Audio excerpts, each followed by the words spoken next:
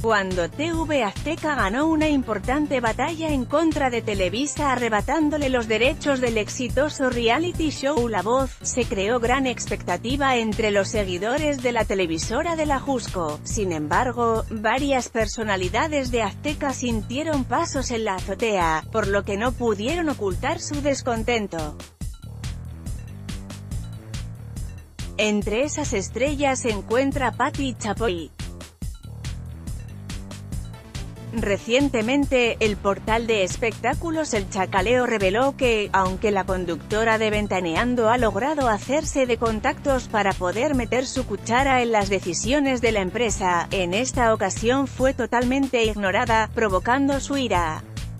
Cuando los medios preguntaron a Patty su opinión sobre el hecho de que la voz ya será transmitida por TV Azteca, la conductora exclamó molesta que nadie le había avisado quiénes conducirán el programa ni quiénes serán los jueces, y echó una pedrada a Alberto Zurana, jefe de contenidos del canal, diciendo que se sintió ignorada en el proyecto. Tan fuerte fue su enojo, que fue capaz de echarle flores a la producción de La Voz en Televisa, asegurando que no se imagina de qué manera su propia empresa podría superar a la televisora de San Ángel.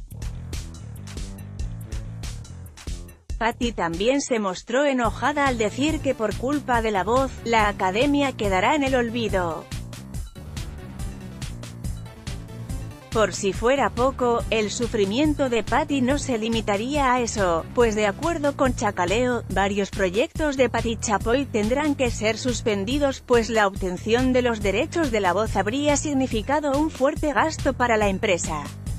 Con información de YouTube Chacaleo, y la neta noticias anímate a comentar. Queremos saber tu opinión. Comentarios Powered by Facebook Comments.